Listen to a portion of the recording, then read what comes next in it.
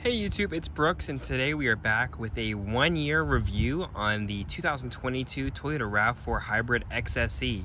I'm actually uh, right at 13 months here with the RAV4. Uh, in a short summation, if you are uh, considering one at all, buy it. Uh, this has got to be one of the best all-around vehicles on the market and we have loved, love, love, love having this car.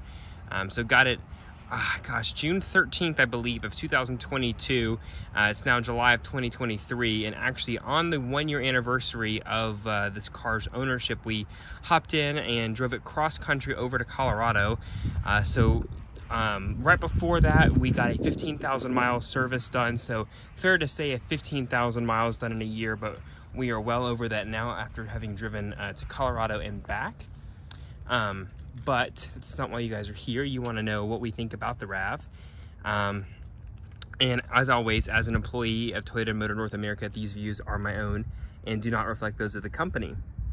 Uh, so, RAV4, as you know, has been out for several generations, one of the most popular um, uh, compact, although not really super compact anymore, uh, CUVs on the market. I think it was the best selling uh, last year, maybe, and a couple years prior to that. Uh, and the hybrid um, is on in the lineup as well, as well as a plug-in uh, hybrid. So as you know, we had a 2019 RAV4 LE before this, which was the uh, first year of this current body style, and that was the normal 2.5 liter four cylinder engine, uh, which was great. We loved that car as well, super efficient, and it was affordable for us at the time.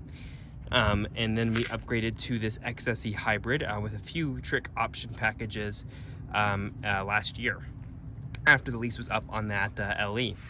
Um, so XSE is the sport uh, grade, if you will. There's also a SE um, trim level. At one point, XSE was uh, specific to hybrid, and I believe still as well.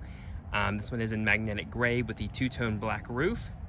Um, and on, honestly, just to reiterate what I just said, uh, this has been a great overall car. Efficiency is fantastic, which we'll dive into. Comfort and space is another high um, hallmark. Uh, got a lot of technology here as well uh, and space is great. Um, honestly, I would think about going for a third one of these uh, once the lease is up on this one as well. But of course, we have two more years uh, on it. Um, so, uh, like I said, um, 2022, this marked a few changes for this body style that came out in 19. Uh, you've got these new headlights. Um, as you can see here, these are the LED headlights. We'll turn them on in a second with the LED runners. Uh, there were new wheels for 22, uh, and then some small changes on the inside like a lock and glove box and some illuminated um, window switches. Uh, 2023 did get a new infotainment system with wireless CarPlay and Android Auto, uh, which would have been nice to have, but what we've got now is fine as well. Um, so I can't complain. Car's held up very well. Of course, nothing uh, outside of regular maintenance has been done to it. All the XSEs have this nice uh, blue stitching interior uh, with the um, uh, Softex, I believe is what they call it, uh, interior trim. But We'll go ahead and power it on. As you can see, 18 and a half thousand miles um, with the oil change having been done a little over a month ago at, excuse me, not oil change, it was just a tire rotation at 15,000, but uh, service done uh, right at that one year mark.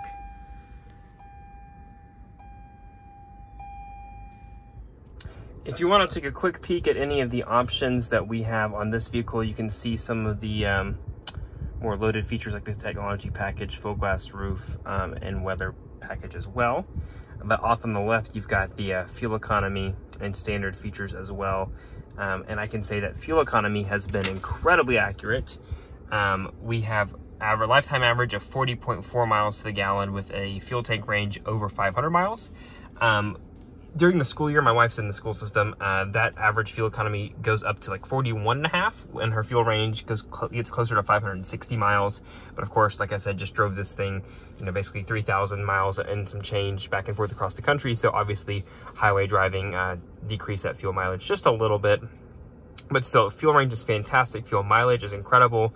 Um, I, uh, honestly, my wife drives around 40 miles round trip every day to work and back, and I fill up her car every weekend for just to top it off, but it's only about a half tank, so we could go two weeks on a tank. Again, love that. Love the features. Um, the automatic wipers here. Of course, you've got your Toyota Safety Sense, which this one is the uh, 2.0, so you've got the uh, radar cruise control, um, and automatic high beams, road sign assist, lane trace assist, all, all that kind of jazz. auto headlights off to the side here. I love the storage bin over here for my wallet and phone.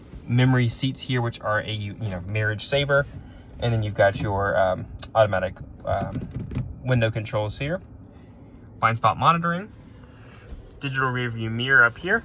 And again, we do have the full glass roof, which I love. Dark uh, brightens up the uh, the dark cabin here with the uh, sport black interior trim pieces. And then you've got LED interior illumination, sunglasses holder and such. So we have XM radio, JBL sound system, and then a wired in CarPlay, which I think is fine, charges my phone.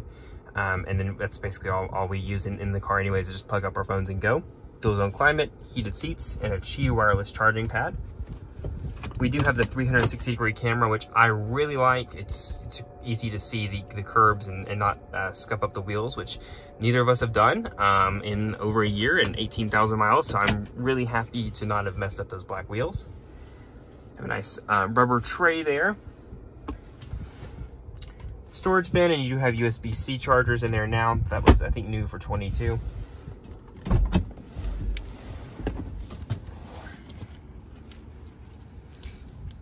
And again, the space is great. That's where I sit comfortably to drive, a little over six feet tall, and I can fit behind myself just fine with a reclining second row seat here. Dual cup holders. You have HVAC and USB-C charging as well, and a great view out. Again, there's those black wheels, and I guess we did get a little bit of a nick on one of the wheels, but overall, uh, not too bad here. power trunk. And again, this was plenty of room for the dog and us to pile in and go cross country. You've got the uh, subwoofer off on the left with the cargo cover. You can easily fit four people and their stuff in this vehicle. Uh, if you have any questions or, you know, want to know any true honest feedback about owning a RAV4, uh, feel free to drop them down below. Again, we've had two of them and uh, two powertrains of the three offered uh, on this body style, but and I really love the way it looks. Of course, looks are subjective, um, but really for us, the hallmarks are the uh, the space, the efficiency, technology. Um, like I said, I, would buy another one and, and might do so. Um, but I can't really think of any negatives. Um, you know, a couple things were like maybe wish we had cooled seats, but then again, you know, you got to have a reason to buy a Lexus. So I can't think of anything that I would do differently with this car. Um, we've loved having it, and uh, you know, just wanted to give you a little one-year update. So thanks for watching, and we'll uh, catch you next time.